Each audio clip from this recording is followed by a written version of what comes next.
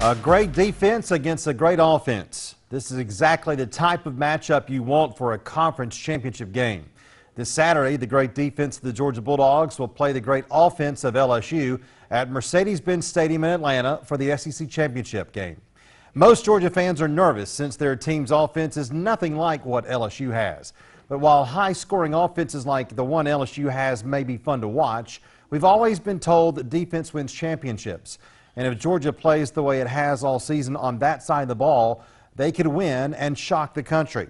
No one thinks Georgia will win, and that is understandable since LSU has been so good.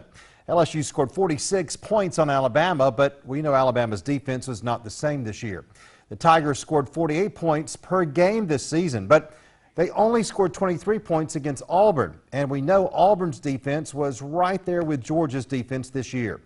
Georgia allowed only 20 points once, and that was when the Bulldogs lost in double overtime to South Carolina, and the Gamecocks scored 20 points, and that's it. No other team scored 20 points on this defense. Meanwhile, LSU's defense was ordinary at times. Vanderbilt scored 38 points against LSU. Alabama scored 41 points against them, and even Ole Miss scored 37 points against the Tigers. And in that game, Ole Miss had 402 rushing yards against LSU. Now, the Rebels do have a running quarterback in John Rhys Plumlee, and he rushed for 212 yards by himself. But even if you take that away, Ole Miss rushed for 190 yards against LSU. If Georgia's running game can be successful like that, it will move the ball downfield and eat the clock, which will, in turn, keep LSU's high scoring offense off the field. Can Georgia wear down LSU's defense? Does LSU have the depth on defense to not be worn out by the fourth quarter? Well, we know Georgia's offense must do better than it's done the last four games. And we know that Jake Fromm must do better than he's done the last four games. But why would we not trust Fromm to come through on the big stage?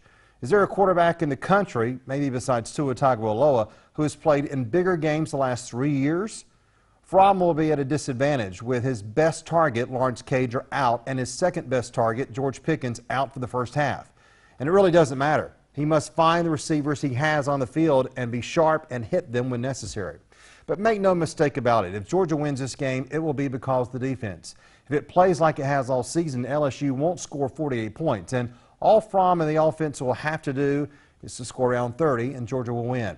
Let's bank on that old phrase that defense wins championships. And while it's not something Georgia fans are used to, they'll take it this Saturday in Atlanta.